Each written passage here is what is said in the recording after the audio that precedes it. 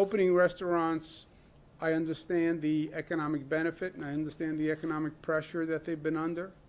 A restaurant is not just the restaurant owner. A restaurant uh, is the kitchen staff, the wait staff. Uh, There's a whole industry around restaurants. And uh, restaurants also pose a possible risk, right? The Concentrations of people inside, indoor dining, but there's also a great economic loss when they don't operate. We had a caution flag with restaurants and indoor dining for two reasons. Number one, we are doing indoor dining at 50% across the rest of the state. We have seen clusters outbreak from restaurants. So that was a reason for caution. Second, we knew that compliance was lacking in New York City. That was a reason for caution.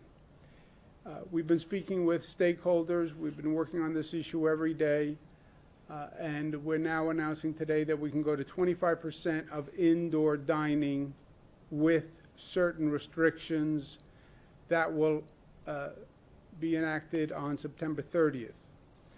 Indoor dining, the rules will be temperature checks for anyone who comes in at the door.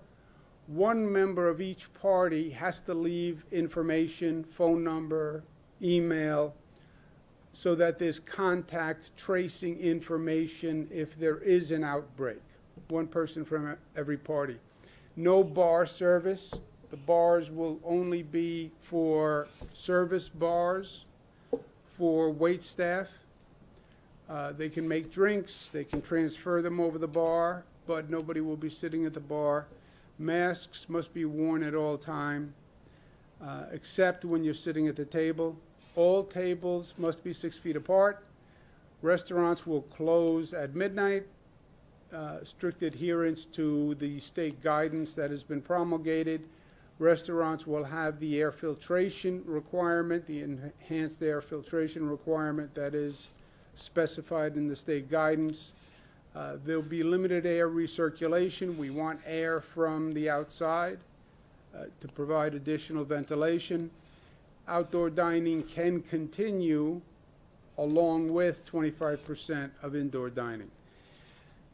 How do you do compliance? State will expand the SLA State Police Task Force.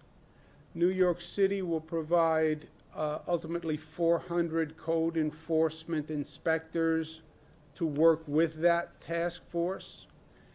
Uh, The number of places that are going to have to be checked for compliance are about 10,000.